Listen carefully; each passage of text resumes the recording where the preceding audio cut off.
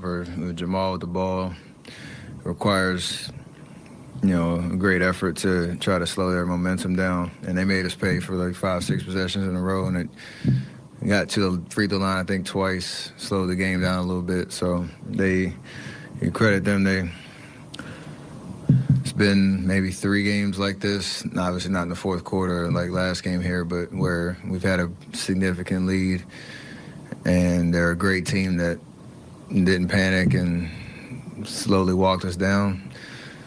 You know, it was just one of those uh, tough stretches that gave them life, and they took advantage of it. You've played in all but three games this season. Steve was saying he said a couple times recently he thinks you might be a little fatigued. Um, do I mean do you feel fatigued? No. Uh, do you not want to, to, to rest at all coming up? No. Say? Okay. What uh, three out of your last four games shooting numbers have been down, just missing shots, or what would you kind of attribute it to? Yeah, you miss shots. Like it's it's one of those things um, that's why they're called averages. Like you know, you got the highs and the lows of it, and you know nobody. Again, the standard that you set when you don't meet it, there's questions about are, your legs tired or no, you just miss shots and you keep shooting. It's part of the nature of being available and playing every game, um, which uh, yeah, never lose confidence and come back, whatever it is, Monday, try to shoot well on the road.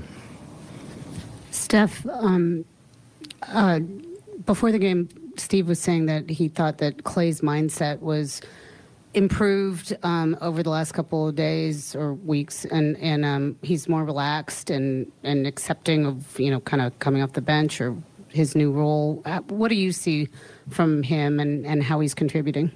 Exactly that. Um, even the game, I think he was the LA game. He only had three points it was one of the better, you know, all-around floor games that he's had, where he took what the defense gave him. He took the shots he was supposed to, you know, shoot. Some of them, or most of them, went didn't go in, but the way that the game flows and where he gets his opportunities, he was always just making the right play, playing great defense um, on whoever his matchup was. You know, got us some some rebounds, extra possessions that way.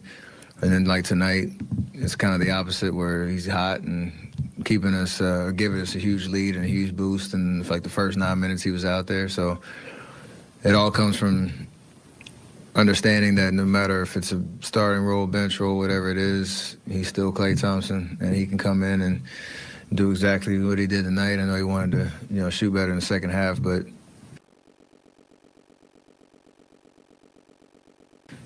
to just go out there and just play basketball and don't let the narratives kind of consume him. That's when he's in his, when he's at his best. Steph, uh, Steve also said he thought Chris's return, which is obviously coming up on this trip, would help you relieve some of the burden. Um, and obviously, playing, you know, he'll play the non the minutes you're not out there, but you guys also play together quite a bit. How do you see his impact on both the team and, and yourself?